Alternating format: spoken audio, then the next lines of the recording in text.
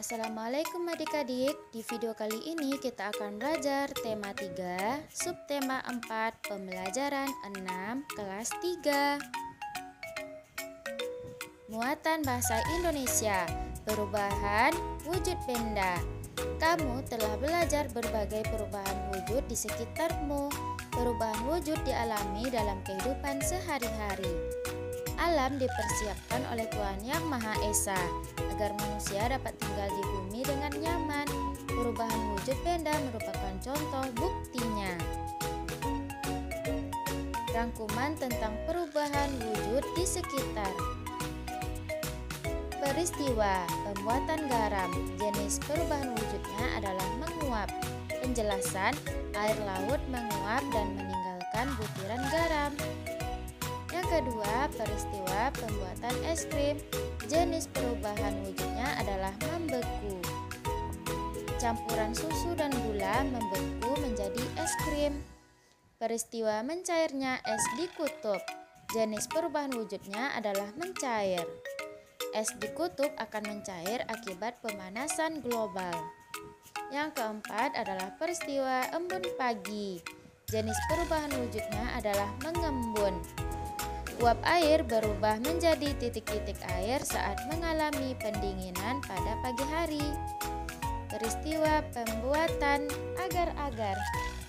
Jenis perubahan wujudnya yaitu mencair, menguap, dan membeku.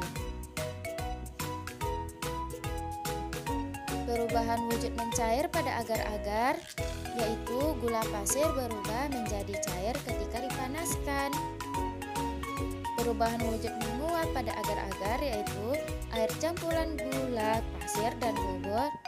Agar-agar menguap ketika dipanaskan. Perubahan wujud membeku pada agar-agar yaitu larutan agar-agar membeku setelah mengalami pendinginan. Selanjutnya, peristiwa pembuatan gulali. Jenis perubahan wujudnya adalah mencair, menguap, dan membeku. Perubahan wujud mencair pada gulali yaitu gula pasir berubah menjadi cair ketika dipanaskan. Perubahan wujud menguap pada gulali yaitu air campuran gula pasir menguap ketika dipanaskan. Perubahan wujud membeku pada gulali yaitu cairan gula membeku setelah mengalami pendinginan. Selanjutnya adalah peristiwa terjadinya hujan. Jenis perubahan wujudnya yaitu menguap dan mengembun. Perubahan wujud menguap pada hujan yaitu air di permukaan bumi menguap menjadi uap air. Perubahan wujud mengembun yaitu uap air yang bergerak ke atmosfer mengalami pendinginan dan berubah menjadi titik-titik air. Membuat kalimat dari kata yang ditentukan kita telah mengetahui beberapa perubahan wujud benda. Kali ini kita akan membuat kalimat dari kata yang berhubungan dengan perubahan wujud. Mari kita perhatikan contoh berikut. Contohnya adalah menguap. Kalimat yang dapat kita buat dari kata menguap adalah air yang dipanaskan akan menguap.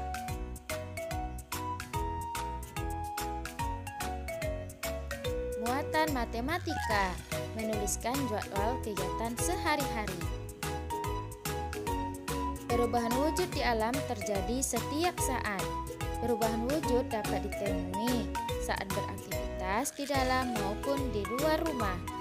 Susunlah aktivitasmu sehari-hari mulai dari bangun tidur di pagi hingga kembali tidur di malam hari.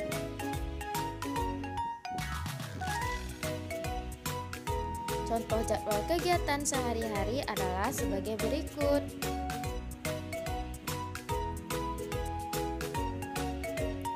Muatan PPKN, manfaat gotong royong dan saling menolong di masyarakat. Siti tinggal di desa. Masyarakat desa tempat tinggal Siti rukun dan damai. Terciptanya hidup rukun dan damai berkat adanya persatuan dan kesatuan di antara sesama warga. Tetangga Siti berasal dari suku yang berbeda-beda, agamanya pun berbeda-beda.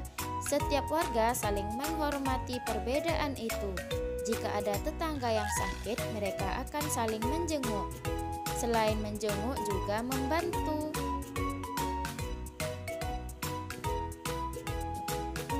Keadaan yang menunjukkan persatuan di lingkungan rumah.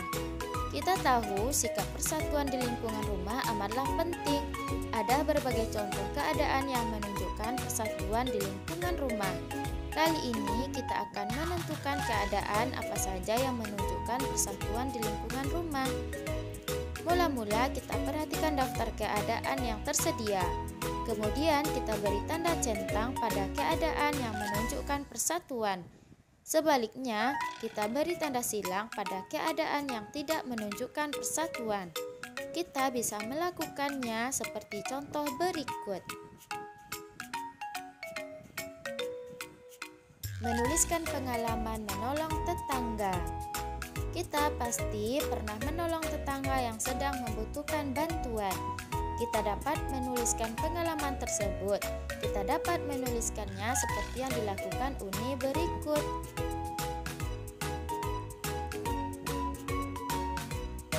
Sekian video pembelajaran kita kali ini. Semoga bermanfaat dan sampai jumpa lagi dengan video-video pembelajaran selanjutnya.